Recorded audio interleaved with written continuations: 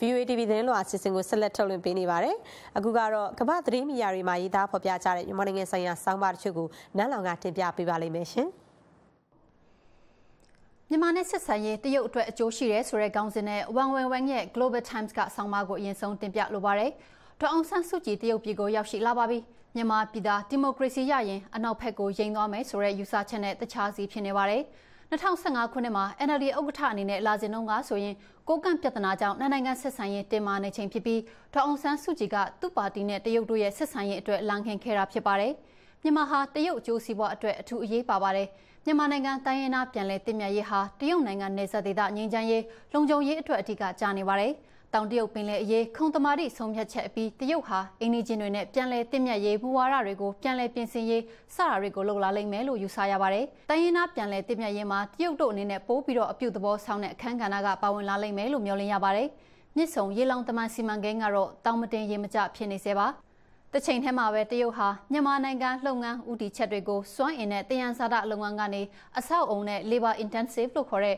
လူအင်အားအများအပြားသုံးရတဲ့လုပ်အားအခြေပြုလုပ်ငန်းတွေစီကိုပြောင်းလဲသွားနိုင်ပါတယ်။ကုတန်ရောင်းဝယ်ရေးကဏ္ဍကဒေသခံဝန်ထမ်းတွေကိုပညာရေးကျန်းမာရေးတင်နန်းတွေပို့ပေးနိုင်ရင်လည်းတရုတ်ရဲ့အမှုနီဒီပလိုမေစီကမြန်မာနိုင်ငံမှာပုံမအောင်မြင်နိုင်ပွဲရှိပါတယ်။ဒီအတွက်မြန်မာနိုင်ငံဆိုင်ရာမူဝါဒကိုပြန်လည်သုံးသပ်ရပါလိမ့်မယ်။ တန်တမန်ဆက်ဆံရေး၊ဘာနာရေး၊ကုန်သွယ်ရေး၊နယ်စပ်လုံခြုံရေးမြန်မာနိုင်ငံမှာရောက်ရှိနေတဲ့တရုတ်ကုမ္ပဏီတွေနဲ့ပတ်သက်တဲ့အရေးဗဟိုအစိုးရနဲ့ဒေသန္တရအစိုးရတို့အကြားတခါနိုင်ငံပိုင်စီးပွားရေးလုပ်ငန်းတွေနဲ့ပုဂ္ဂလိကလုပ်ငန်းတို့အကြားမျှတအောင်ဆောင်ရွက်နိုင်ရေးတို့ကိုပြန်လည်စီစဉ်ကြရပါလိမ့်မယ်လို့ရေးသားထားပါတယ်ရှင်။ခုတခါဒေါအောင်ဆန်းစုကြည်ရဲ့တရုတ်ခီးစဉ်အကြောင်းအိန္ဒိယဘက်ကရေးသားထားတာကိုတင်ပြပါအောင်မယ်။ဒေါအောင်ဆန်းစုကြည်တရုတ်ခီးစဉ်စတင်ခြင်းဆိုတဲ့ခေါင်းစဉ်နဲ့ KJM Burma ကအောက်လုံအိန္ဒိယမှာရေးသားထားပါတယ်။ နိုင်ငံခြားရေးဝန်ကြီးဒေါအောင်ဆန်းစုကြည်ကိုတရုတ်ကကစောနေခင်ကြိုးဆိုပါရယ်အစိုးရအကြီးအကဲတယောက်ကိုကြိုးဆိုသလိုဖြစ်ပါတယ်သူဟာသမရရှီကျင်းပင်နဲ့လည်းတွေ့ဆုံမှာပါဒေါအောင်ဆန်းစုကြည်ဟာမြစ်ဆုံစီမံကိန်းလေလာစုံစမ်းရေးကော်မရှင်ဖွဲ့စည်းပြီးတပတ်လောက်ကြာမှ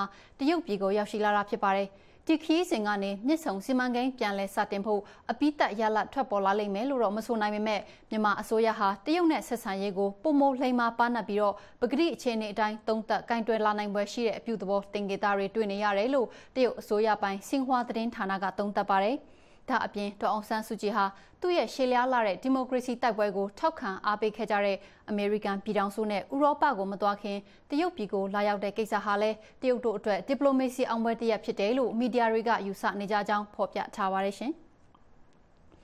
အခုနောက်ဆုံးတင်ပြမှာကတော့ဒီမိုကရေစီအသွင်ကူပြောင်းရေးကိုသတိထားနေရတဲ့အတွက်ပြပရင်းနှီးမြုံနှံမှုကြာစင်ခြင်းဆိုတဲ့ Reuters သတင်းဌာနရဲ့ဂျကာတာ Globe ကဆောင်းပါပါ NLD အစိုးရတက်လာပြီးပထမလေးလပတ်အတွင်းပြပရင်းနှီးမြှုပ်နှံမှုတွေရခင်နှစ်ကဒီအချိန်မှထက်အများကြီးနှိကွေးသွားတယ်လို့အစိုးရအစည်းအဝေးတွေကဖော်ပြနေပါတယ်။ကုံဆုံးခဲ့တဲ့ဧပြီလနဲ့ဇူလိုင်လအထိပထမလေးလပတ်အတွင်းပြပရင်းနှီးမြှုပ်နှံမှုအမေရိကန်ဒေါ်လာတန်380ရာရှိခဲ့ပါတယ်။အရင်နှစ်ကဒီလိုလေးလပတ်မှာအမေရိကန်ဒေါ်လာ1.6ဘီလီယံထိရှိခဲ့တာပါ။ ရာစုထက်ဝက်ကျော်ကာလအတွင်းအကြီးမားဆုံးနိုင်ငံရေးအပြောင်းလဲတွေကြောင့်တကြောင်ရင်းနှီးမြှုပ်နှံမှုအသစ်တွေကိုလက်ခံအတည်ပြုဖို့နှောင့်နှေးနေတာကြောင့်တကြောင်စီးပွားရေးစီမံကိန်းအသစ်မှာအသေးစိတ်အချက်အလက်တွေဘလို့ဆောင်ရွက်ရမယ်ဆိုတာတွေလှစ်ဟာနေတာကြောင့်တကြောင်ပြပအရင်နည်းတွေတုံနေနေစေတာဖြစ်တယ်လို့စီးပွားရေးလောကသားတွေအုပ်ချုပ်ရေးပိုင်းကပုံကိုယ်တွေကထောက်ပြကြပါတယ်အစိုးရနဲ့ဥပဒေတစ်တွေကြောင့်နစ်နာမှုတွေဖြစ်လာနိုင်သလားဆိုပြီးပြပလုပ်ငန်းရှင်တွေကစိုးရင်ကြဟန်တူတယ်လို့လဲစီးပွားရေးအတိုင်းဝိုင်းအကြီးအကဲတူကဆိုပါတယ်။ အခုရောက်ရှိလာတဲ့ဒေါ်လာတန်380ဟာကုန်ထုတ်လုပ်ငန်းတွေကနေအဝေးဆက်သွယ်ရေးလုပ်ငန်းအထိလုပ်ငန်းပေါင်း18ခုမှာယင်းနေရမှာဖြစ်ပြီးအခုလိုယင်းနေမြုံနာမှုကြာဆင်းရတာဟာ